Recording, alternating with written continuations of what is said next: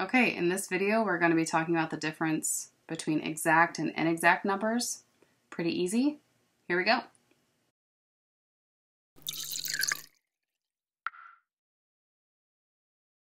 All right, so in science we have both exact measurements and inexact measurements. Okay, exact and inexact numbers. And honestly, the concept is pretty easy to understand.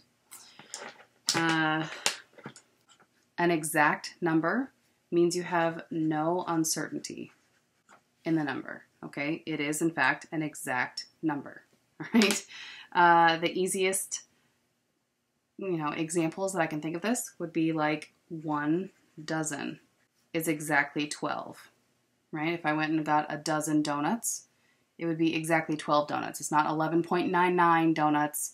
It's not 12.012 donuts. It's 12 we're done, right? That's one dozen.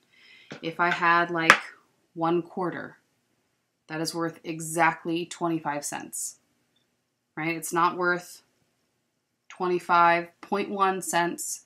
It's not worth 24.99999 cents. One quarter is worth exactly 25 cents, right?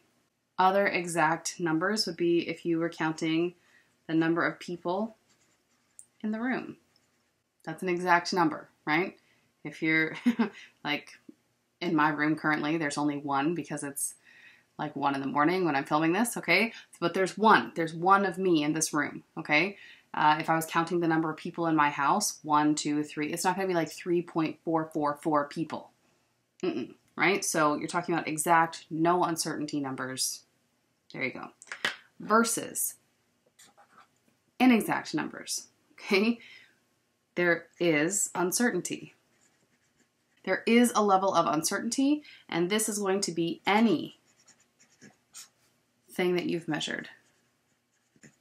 Any data you collect in a lab. Okay? It is absolutely impossible to get an exact number from your data in lab. Right? There's always going to be some level of uncertainty. Let's say you or weighing a sample of sodium chloride, of salt. You go to the scale, you put your sodium chloride on the scale, and your little scale uh, reads out. Why am I going to draw you a scale? This is a terrible idea.